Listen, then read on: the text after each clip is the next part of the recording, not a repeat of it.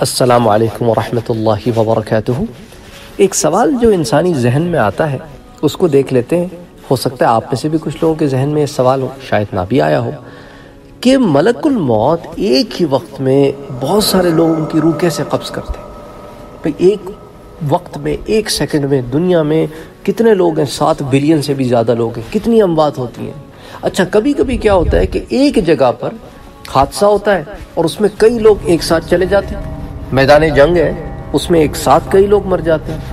اور وہ جو دہشت گرد ہیں، وہ دہشت پھیلاتے ہیں اور ایک ساتھ کئی لوگ لقمہ اجل بن جاتے ہیں۔ تو ایسا کیسے ہو سکتا ہے کہ ایک ساتھ وہ اتنی ساری جانوں کو کیسے اٹھاتے ہیں؟ اب اس ضمن میں کچھ قول ہیں، وہ میں آپ کے سامنے رکھتا ہوں۔ اچھا یہ بھی ایک اسلام کے خلاف بڑا عجیب و غریب سا پروپیگنڈا ہندو پھیلا رہے ہیں کہ قرآن کہتا ہے کہ دنیا جو ہے وہ بالکل فلیٹ ہے۔ حالانکہ دنیا فلیٹ نہیں ہے۔ دنیا تو گول ہے، تو قرآن نے کبھی اس بات کو بیان نہیں کیا اس طرح کہ یہ فلیٹ ہے۔ یہ ان کی خام خیالی ہے کہ یہ قرآن پڑھ کے اپنی مرضی سے اس کے مطلب نکالتے ہیں۔ اب آج جو میں آپ کے سامنے قول رکھ رہا ہوں، اس میں اندر میں آپ کو کچھ چیزیں ایکسپلین کروں گا تاکہ آپ کے ذہن میں اگر اس قسم کا کوئی شبہ ہے تو وہ دور ہو جائے۔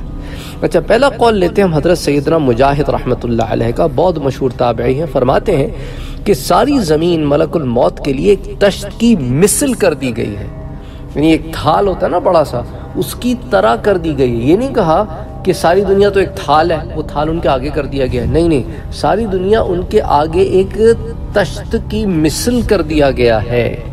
جہاں سے چاہیں اٹھا لیں اور ان کے لیے کچھ مددگار فرشتے بنا دیے گئے ہیں جو روحوں کو قبض کرتے ہیں۔ پھر ملک الموت ان سے لے لیتے ہیں۔ یہ تفسیر تبری میں یہ قول حضرت مجاہد کا موجود ہے، سورة الانعام میں، اور اس کو، اس کی روایت کا جو نمبر ہے تفسیر تبری میں، وہ ہے 13337 ٹھیک ہے؟ سورة الانعام میں آیا نمبر 61 کے تحت اس کو امام تبری لے کر آتے ہیں۔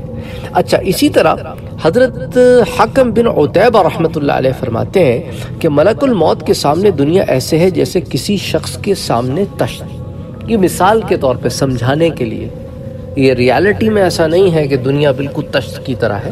سمجھانے کے لیے کہ ان کے آگے ایسی۔ اس قول کو کتاب العظمہ میں باب صفت و ملک الموت کے تحت حدیث نمبر 471 میں یہ قول جمع ہے۔ اچھا اسی طرح حضرت اشعث بن جابر رحمۃ اللہ علیہ فرماتے ہیں کہ ملک الموت، جن کا نام اسرائیل علیہ السلام ہے، ان کی دو آنکھیں چہرے پر ہیں اور دو گدی کی جانب ہیں۔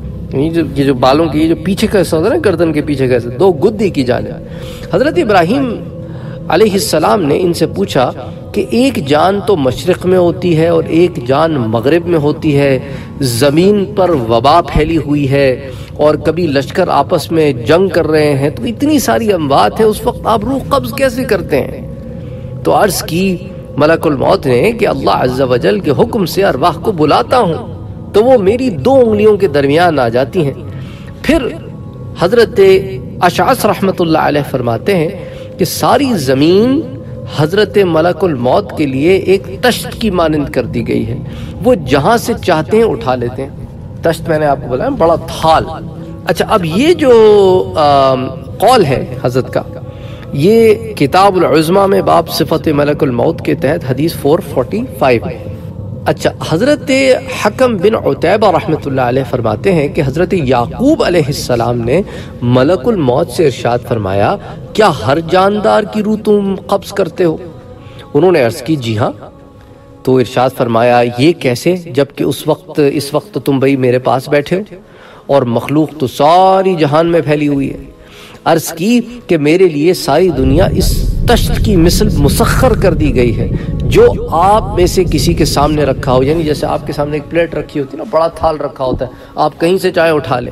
تو کہا جیسے آپ کے لیے تھال ہوتا ہے نا، ویسے میرے لیے دنیا ہے اور اس کی ارواحیں لقمے کی مانند ہے تو ساری دنیا میرے لیے مسخر کر دی گئی ہے۔ اور جیسے آپ کے سامنے کوئی تشت رکھا ہو تو ویسے میرے سامنے دنیا رکھی ہے۔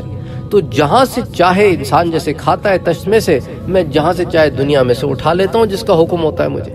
تو موسیہ ابن ابی دنیا میں کتاب ذکر الموت میں باب ملک الموت و عوانی ہی کے ضمن میں حدیث 246 میں حضرت سید، سیدنا حکم ابن عطیبہ رحمۃ اللہ علیہ کا یہ قول حضرت یعقوب علیہ السلام اور ملک الموت کا یہ مکالمہ نقل ہے۔ اچھا اسی طرح ابو قبیز ازدی رحمۃ اللہ علیہ فرماتے ہیں کہ حضرت سیدنا ملک الموت سے پوچھا گیا، آپ روحیں کیسے قبض کرتے ہیں؟ تو فرماتے ہیں، میں انہیں بلاتا ہوں تو وہ میرے پاس آ جاتی ہیں۔ تو اس کو المجالسہ و جواہر العلم میں اس کی جز الخامس یعنی پانچویں جز میں حدیث سات سو چار کے تحت یہ روایت کیا گیا ہے۔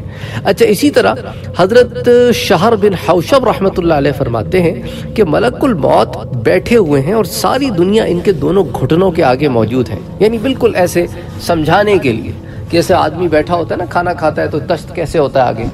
ویسی وہ گھٹنوں کے سامنے جیسے تشت ہوتا ہے نا انسان کے، ویسی ان کے آگے جو ہے وہ تمام دنیا موجود ہے اور وہ لوح یعنی وہ تختی جس میں انسانوں کی عمریں درج ہیں، وہ ان کے قبضے میں ہیں۔ ان کے جو معاون فرشتے ہیں، مددگار فرشتے ہیں، وہ سامنے کھڑے ہیں۔ ملک الموت نظر جمائے اس تختی کو دیکھ رہے ہیں۔ جیسے ہی کسی بندے کا وقت پورا ہوتا ہے، وہ فرماتے ہیں اس کی روح قبض کر لو۔ سبحان اللہ۔ اچھا تو موسیع ابن ابی دنیا میں یہ قول آتا ہے کتاب ذکر الموت، باب ملک الموت یو آوانی ہی حدیث 248 تو اب ان تمام چیزوں کو اگر آپ سامنے رکھیں، تو ملک الموت کے آگے یہ تمام دنیا ایسی ہے جیسے ایک تشت، اس میں ارواح ہے اور ان کی نظر جو ہے اس لوح پر ہے، اس تختی پر ہے، جس میں ہر روح کی عمر جب پوری ہو رہی ہے، جیسی ہوتی ہے وہ حکم دیتے ہیں، اور فرشتے لپک کر اس کی روح قبض کرتے ہیں اور ملک الموت کے ہاتھ میں دے دیتے ہیں۔ اور پھر وہ آگے جو ان کا کام ہے وہ انجام دیتے ہیں۔ تو یہ تمام چیزیں جو ہے میں نے آپ کے سامنے اس لیے رکھی کیونکہ کبھی کبھی لوگوں کے ذہنوں میں کوشچن ہوتا ہے کہ بھائی ایک ساتھ اتنی ساری ارواح کیسے اٹھاتے ہیں؟ ایگزیکٹلی تو یہ اللہ تعالیٰ کی حکمت ہے، اللہ تعالیٰ کے کام ہے۔ وہی بہتر جانتا ہے کہ کاموں کو کیسے انجام دینا ہے۔ وہ علام الغیوب ہے۔ ہماری عقلیں جو ہیں وہ چھوٹی سی ہیں، تھوڑی سی ہیں۔ ہم اپنی عقلوں کے لحاظ سے ہر چیز سمجھنے، سوچنے کی کوشش کرتے ہیں اور یہیں پھر انسان ٹھوکر کھاتا ہے۔ اس لیے ہم کہتے ہیں کہ اللہ تعالیٰ بہتر جانتا ہے۔ السلام علیکم ورحمۃ اللہ وبرکاتہ۔